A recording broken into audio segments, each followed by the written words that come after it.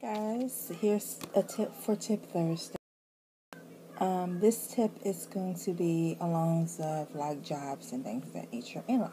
Um, this tip is do not quit a job until you have a job because it's easier for you to transition into a job when you do have a job, and also you know that when you're looking for a job, most jobs don't like to see gaps in employment anyway.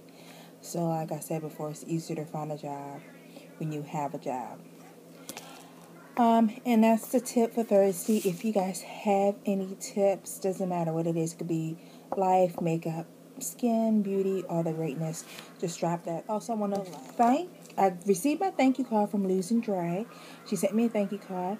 Smells wonderful too, and it was a lovely card that she made for me um, because I she won one of my giveaways. So thanks for the card, Losing Dre. And I'll talk to everyone um, later. Peace.